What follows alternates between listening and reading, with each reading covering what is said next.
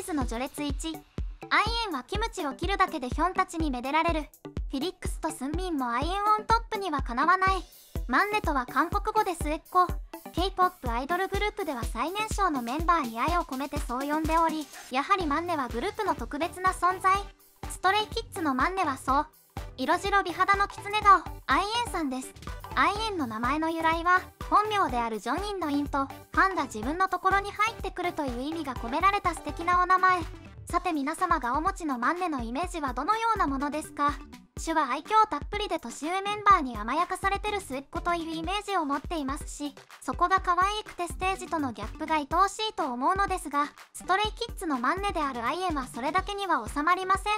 今回は過保護なヒョンたちに愛されそれはもう可愛くたくましく美しく成長中のスキズの序列1アイエンとヒョンたちのエピソードをお伝えいたします。いきなり結論ですがスキズのヒョンたちは基本的に甘いです。甘いと言っても甘やかすだけではなくアイエンに対する感情の糖度が激甘なのです。それは彼が大好きな生クリームをも超えるほどの甘さ。ヒョンジンさんの激甘というかアイエン大好き具合はこちらでご紹介しております。それでいてこれはもうキッズの特性なのでしょうか？絡みがうざいです。黙ってられないことが多いし騒がしいんです。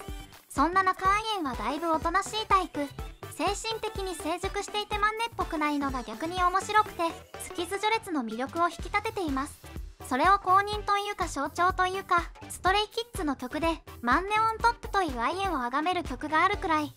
マンネ on top はアイエンとバンちゃん。チャンビンの3人で歌っている曲でサビのマンネ on top が2番からアイエン on top。もう序列1位が決定的です。個人的にはチャンリンのラップパートのアイエンに腰低いけどでも心の中では俺が育ててやったんだぜと思ってる感じが好きです。そんなマンネオントップチームで出たつキッズショーでバンちゃんがアイエンの前では弟になってる様子についてはこちらでご紹介しております。アイエンを前にめでるしかなくなるのはバンちゃんとチャンリンだけではありません。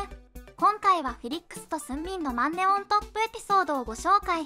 2023年に配信されたラチャロブエピソード1ではフィリックス、スンミン、アイエンの3人でネットカフェで通信ゲームをする姿を見せてくれました。ネットカフェに入るや否や迷わずおやつを注文するアイエン。フィリックスとスンミンはマンネったらすぐおやつを食べたがるなんて可愛いと思っていたことでしょう。しかし彼は精神的に成熟したマンネソースキズの序列1受け取ったおやつをすぐにヒョンたちに食べさせてあげるのです優しい。しかしながらそれは優しさだけではないのです。ヒョンたちに絡まれずゲームに集中するためにはまず2人の口を塞がないとならないのです。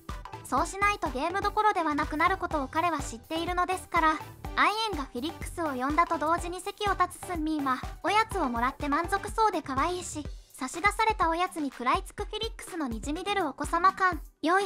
まさかこれが口を塞ぐための行動とは。2人とも気づいてないご様子。無事に2人に餌付けしたアイエンはようやく環境を整えゲームを始めます。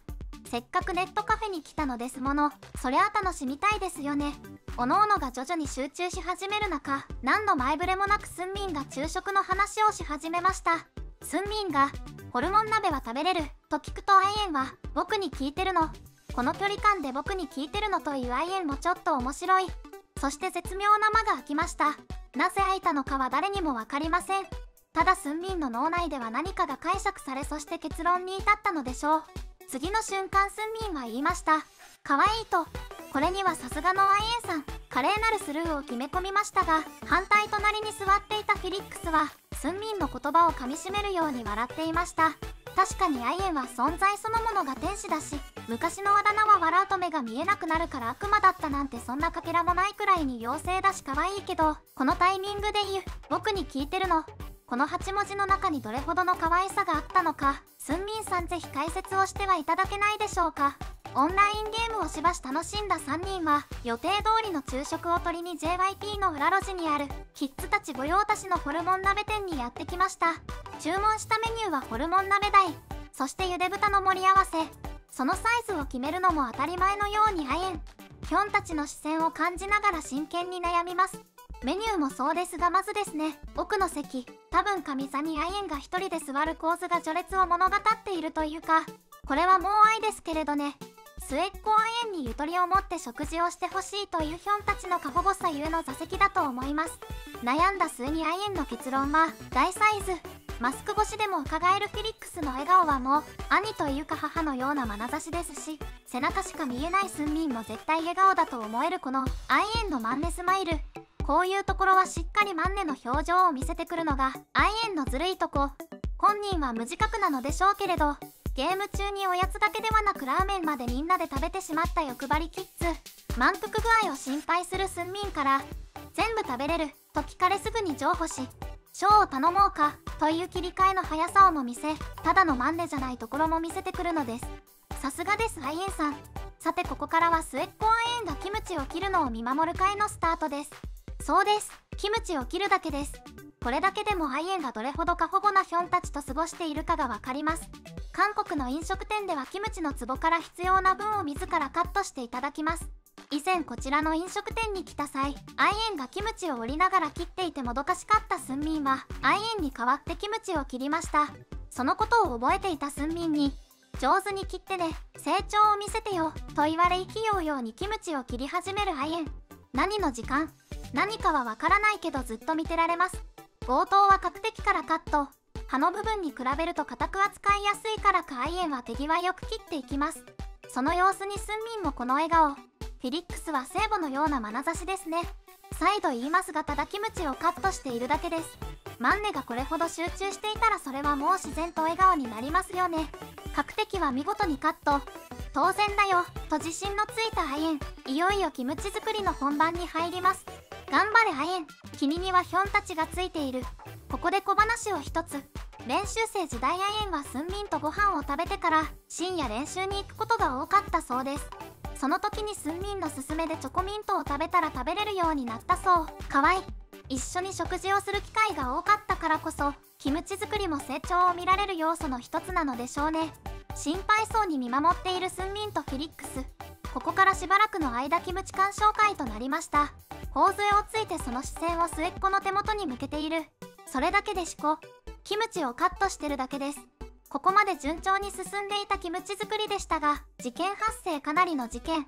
どうやら少し凍っていたようで切りにくくアイエンの手元が歪みます。すかさずフィリックスはハサミの内側で切るとうまく切れるよとアドバイスしましたがアイエンはうまく切れずにちょっと気に入らないご様子。最後はホルモン鍋食べたらあんまキムチ食べないからと言って自己完結してすっきりした表情。注文していた料理が届き和やかに食事が進み始めた最中アイエンさんあんは言ったものの諦めきれなかったのかこっそりキムチカットを再開します。ようやく切り終えた時にはテーブルの上は注文した料理でいっぱい。行き場を失ったキムチの皿を持ちながらのこの拗ねているような表情は末っ子っぽくて愛らしいですよね。低音ボイスで「万年と呼ぶフィリックスがトングとハサミを受け取ってくれてアイエンはギリギリキムチ皿を置くことに成功。スンミンは幼い人から救ってあげると料理を取り分けて一番最初に渡しました。そしてヒョンたちを待たずに食べ始めるアイエン。さっきまでキムチカットに向きになってたとは思えないほど冷静に食事をスタートしました。続いて大人にならないデーナを話し。この時2023年のアイエンの誕生日間近だったようでヒョンたちは揃って何が欲しい？何を望んでるの？と質問。そこで返ってきた答えはまさかの建物土地聞いた瞬間のフィリックスのこの表情からマジでという戸惑いを感じました。スンミンは何言ってるの？フィリックスも呆れるなとマンネのイメージを守ろうと必死。アイエンの唐突の大人発言にフィリックスは心が痛いと嘆いてました。特に欲しいものがないんだ。誕生日が近づいてきたら誕生日だなって思うだけでマンネどうしたの？何かあった話聞こうか。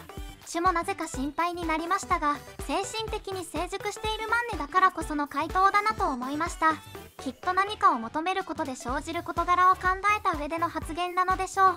心を痛めていたフィリックスも最後にはそれが大人になったということだよと締めていました。デビュー前からずっと一緒のワインの成長を様々な意味でかみしめての表情でしょう。